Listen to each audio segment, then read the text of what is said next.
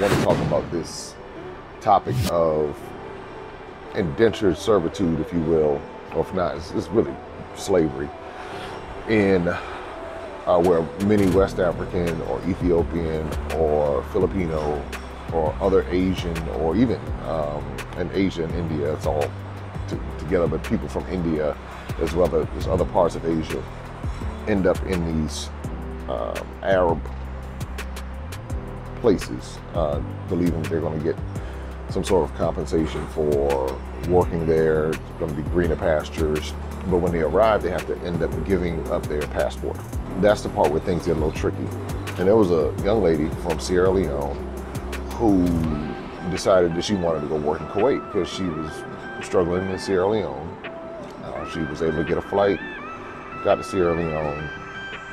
I'm sorry, got to Kuwait, and uh, found out that life there was not what it appeared to be. Now, I don't know all the ins and outs of what the majority of everybody's stories are. I know her story, and I know the stories that I've heard uh, from other people. But in essence, what happens is when you arrive, you have to give up your passport.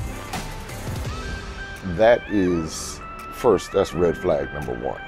That if you go somewhere and you have to give it up, that means at that point you can't leave.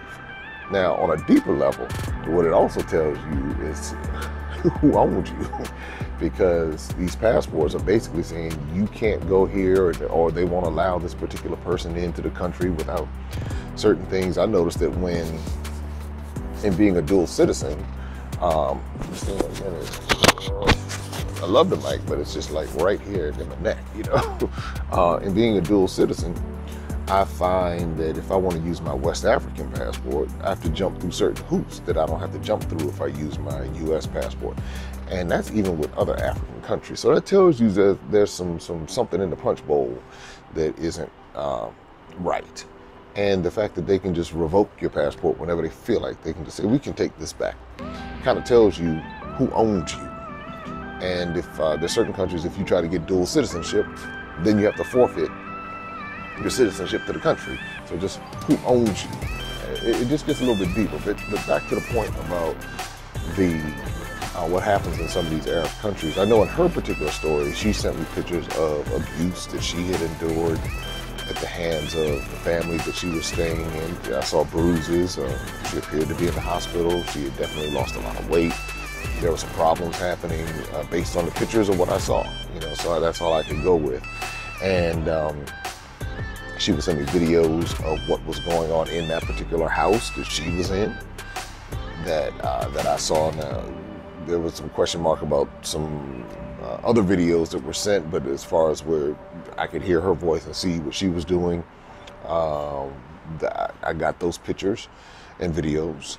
The um, but uh, I've been hearing this so much, and it just speaks to the bubbles that we live in because a lot of us are living in bubbles. We think that, especially in the Western world, we don't understand what's happening outside of the Western world and some of the situations people are finding themselves in because of the sheer number of people. The population is so large in some of these places.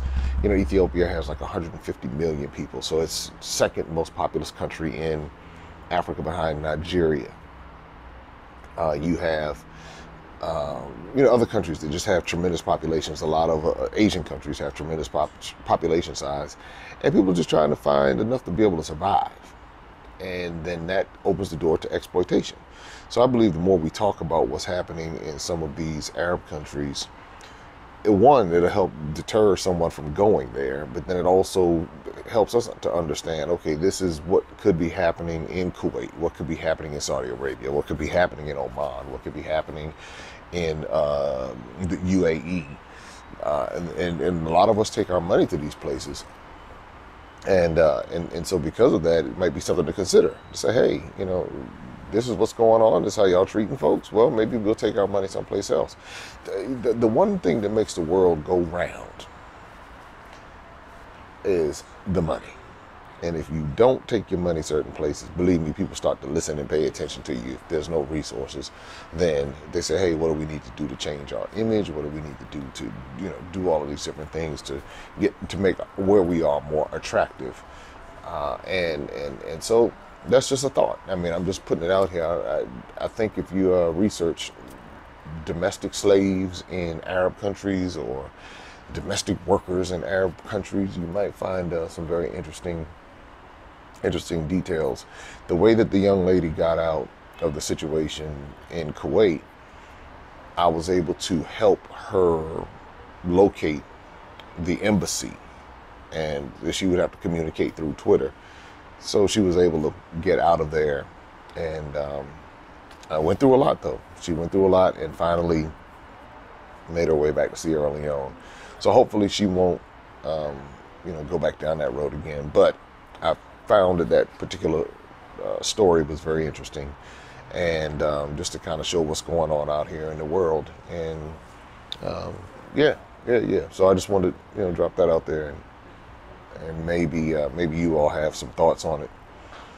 And uh, I, I think I haven't been to. I mean, I don't know what's happening here in Egypt so much. I'll have to do. I'll do a little bit of research to see if that's what's going on here. Uh, all Arab countries are not the same. So that's the one thing about it. Tourism is big in Egypt, so they might be a bit more mindful of those behaviors. I don't know.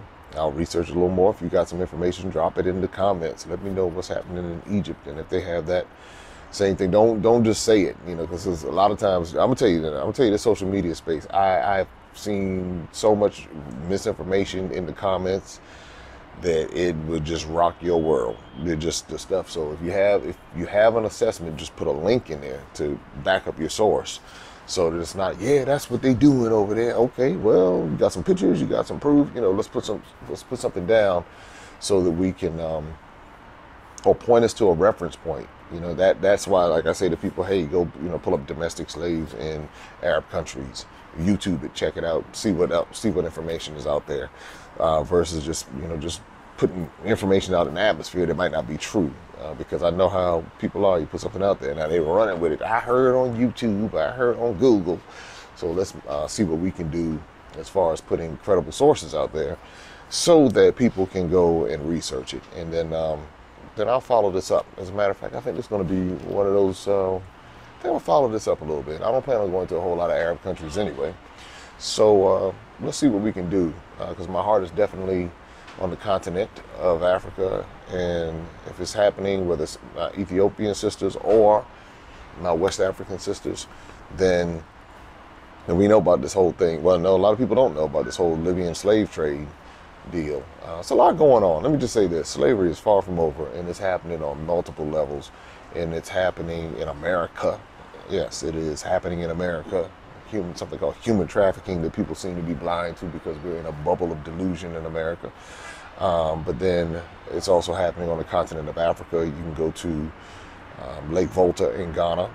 Uh, you can go to places in Benin and Nigeria, uh, northern Nigeria, um, Niger, Chad, uh, all over and, and find. I mean, just just you know, just start researching slavery around the world, China, Indonesia. I mean, you can go all over the world and find some sort of hostage taking, kidnapping, uh, if you will, and people being put to work.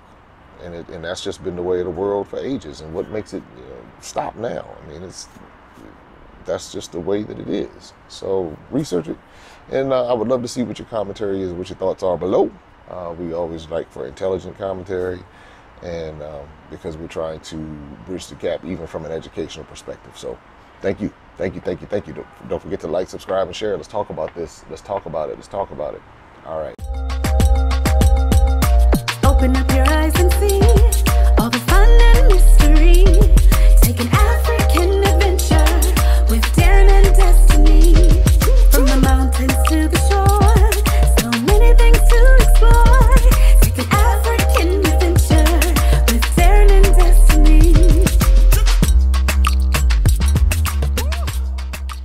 Adventures of Darren and Destiny. And Darren and Destiny are twin brother and sister, and you go on their adventures throughout the African diaspora, meaning so African diaspora destinations, primarily focused in Africa, but we go to South America, we're going to go to the Caribbean. Their first book is going to take you to Ghana. And then we're going to go on a safari. And from there, we're going to go to Ethiopia. And then we go to Salvador, Brazil.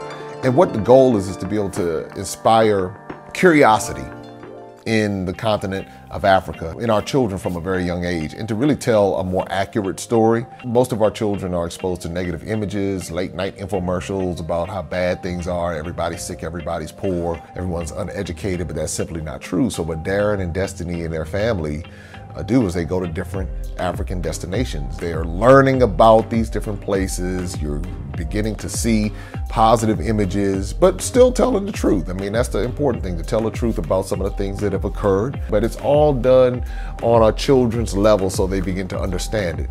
And it begins to pique their curiosity. They begin to learn more. And hopefully one day they will want to explore and visit the continent of Africa and its many countries. There's just so much that Darren and Destiny are able to do.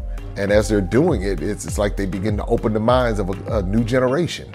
And they don't get bombarded and indoctrinated with negativity. They're actually able to see positivity and inspiring images and messages about the African diaspora as well as those who are still indigenous to the continent of Africa, and they begin to learn more and, uh, and just see things differently. So I'm excited about introducing the adventures of Darren and Destiny.